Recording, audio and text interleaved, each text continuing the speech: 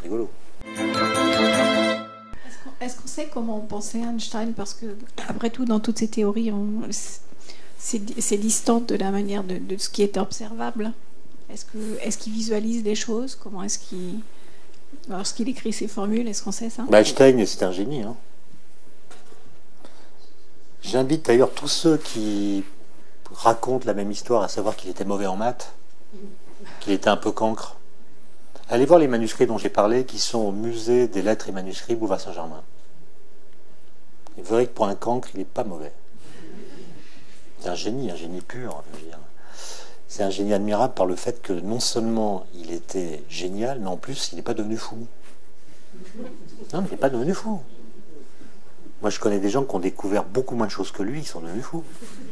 Songez, songez que quand euh, on lui a annoncé euh, la bonne valeur de la déviation des rayons lumineux, il est en train de donner un cours à Berlin. Il y a une espèce d'appariteur qui rentre dans l'amphi et lui dit Monsieur Einstein, euh, Monsieur Eddington a mesuré tel angle. Einstein regarde et dit Ah, bah c'est bien, si ça n'avait pas été le cas, j'aurais été triste pour Dieu. Voilà ce qu'il dit. Il n'est pas devenu fou. Vous avez un gars qui, calcule le période Mercure à partir de nouvelles théories.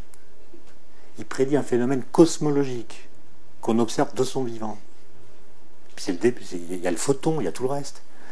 Qui a prédit autant de choses? Personne. Il y a eu la guerre, la bombe atomique. il y a une pièce à Paris d'ailleurs qui s'appelle, euh, euh, qui se joue euh, à Paris sur la bombe atomique, la culpabilité qu'Einstein aurait eue à l'égard de la bombe atomique. Au sens où ses découvertes auraient engendré la bombe. Ça, c'est une vulgate complètement fausse. Einstein est responsable de la bombe atomique parce qu'il a écrit à Roosevelt pour lui dire, avec Szilard, que les Allemands travaillaient à la bombe atomique. C'est ça qui a mis les Américains sur le travail de fabrication de la bombe. Mais c'est pas ses découvertes à lui. Dans tous les livres, on lit que E égale MC2, c'est la bombe. Mais s'il était vrai qu'il y a un lien entre la bombe atomique et E égale MC2, il y aurait eu des bombes atomiques pendant la Première Guerre mondiale. Vous êtes d'accord avec moi? Il y avait de l'uranium, on le connaissait. Il y a E égale MC2, si c'est la bombe, bah, on aurait fait les bombes. La bombe atomique ne doit rien à la relativité.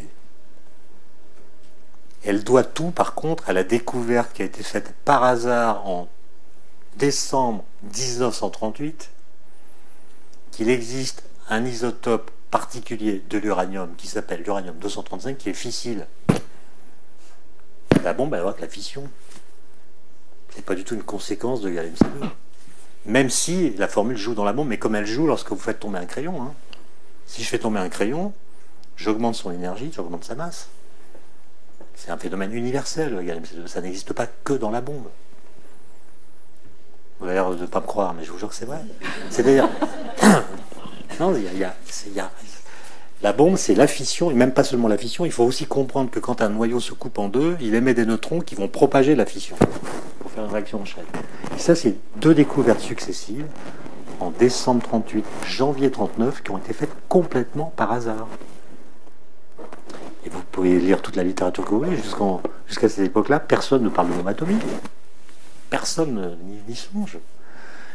La découverte de la fission, je répète, c'est décembre 38, et en janvier 39, Joliot Curie ici démontre qu'il y a émission de neutrons. Et le, brevet de la bombe atomique est déposé le 1er mai 1939. Donc il y a un lien direct entre la fission et la bombe. Il n'y a aucun lien direct entre E égale MC2 et la bombe.